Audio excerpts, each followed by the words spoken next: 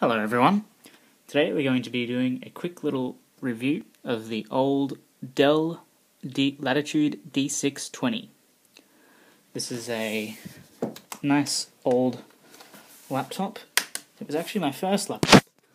Um, since then I've pretty much just had desktops and another shitty Dell.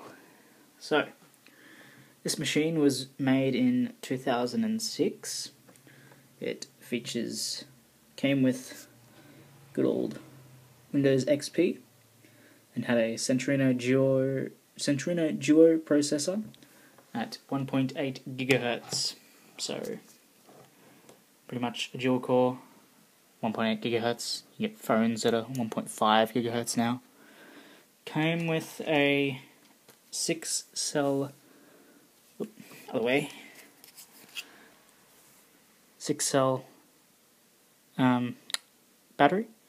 This isn't the default one, but um, it's just a replacement. Um, right there, you have your little um, push button thing, which tells you the status of the battery. This battery's dead, so yeah. So, let's take a look at the I.O. on this machine. First off, you have your battery hole and a SIM card slot. Second, we've got a DVD drive and CD drive rewritable and two USB I believe they're 2.0 ports. I think I think they were even USB 1 or something. Pretty sure they were USB 1. They were low power USB 2 if any. Next you have your Ethernet out, modem out, believe it or not. Um, two USB 2.0 ports. I know they were 2.0 for a fact. A good old serial port, if you remember it. A VGA out. And a AC in. The AC in, this isn't the actual power supply that came with it. It's a 90 watt uh, new Dell power supply.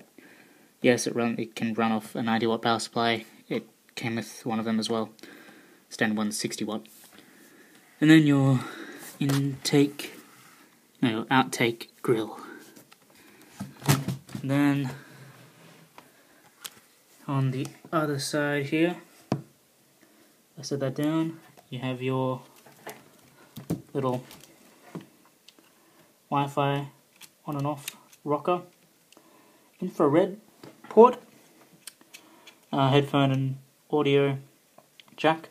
Actually, you also have your PCI Express slot and your little smart card reader for businesses. See smart card up there, and Kensington lock and intake vents. Also on the back as well. Yeah. The, this little um, intake, the little uh, port here is for a dock. You used to be able to dock, but you still can now. Dock this in and it has like an extra four USB ports, more serial ports, a DVI port, etc. And yeah. So now on to the interior of this unit. I actually don't have the measurements, but if, well, it's probably, that's probably around the same thickness of an iPhone. I don't have an iPhone to compare it, sorry. Um, also, something interesting, you also have a little uh, fingerprint reader. It actually works quite well, I have to be honest with you and your standard tactile mouse. Uh, smallish trackpad, pretty small trackpad, pretty, it's okay, like, you have a bit of, um, if you look at that there, have a bit of sag, and two more mouse buttons, and a good old removable little trackball thing. So that's just goes back on like that. Little, crap, little keyboard, nothing too special. And of course your little classic Dell modeling number. Little caps lock and unlock button and little media buttons to do volume, mute and power on. 14 inch screen and a little hinge. It's pretty cheap, like if I... Yeah, like it's very flimsy at the moment. That's because it is 6 years old or so. So we go on power on the unit.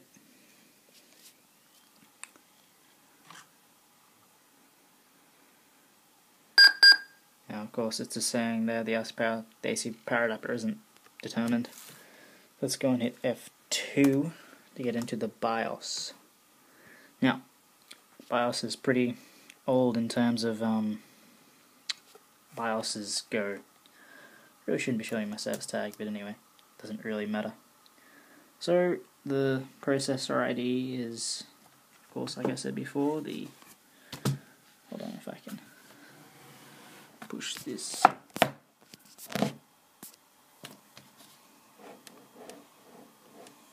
Yeah, it's a bit better. Processor ID is a 2 Duo, um, 1.8 gigahertz. The minimum clock speed, so when it's idling, is 1 gigahertz. Um, RAM, 2, 2 gigs of RAM. Dual channel memory, DDR2 SD RAM at 660, 667 megahertz. Primary hard disk was 120 gigabyte PATA hard drive, not SATA, not IDE, just PATA. I've never really come across another PATA drive. I, only really experienced IDE and SATA. Um, the video memory, it was uh, some, oh yeah, there you go, NVIDIA Quadro 110M with 64 megs of video memory. My gaming computer has 3 gigs of graphics memory, so that's how far we've come. Native resolution 1440 by 900 and using Intel wireless. Battery no battery installed. Battery health not installed. Date and time and time and not much else really. Boot sequence. Onboard devices. Um, I'll just go through these really quickly.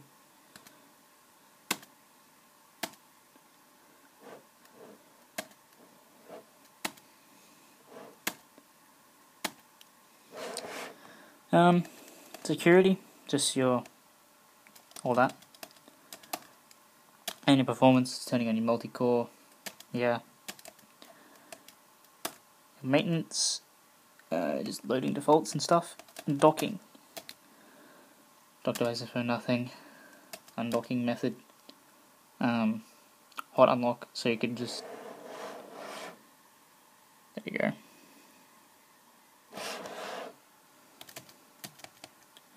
and your wireless settings. So internal Bluetooth, Bluetooth 2.0 I think. Internal Wi-Fi. Internal Wi-Fi was only G, not N. Cellular had a, this has a SIM card slot, so you can put in your SIM card and run off that for wireless. And your there were your wireless switch options, so you can turn this little thing right here. Pretty cool. You can choose what that does. Um, pretty much it really. So if we just hit escape and then enter, I will show you we boot up into Ubuntu.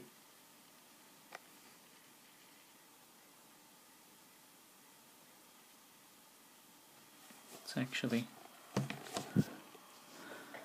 I think it's booting into Ubuntu. Yeah, by the looks of it, yeah.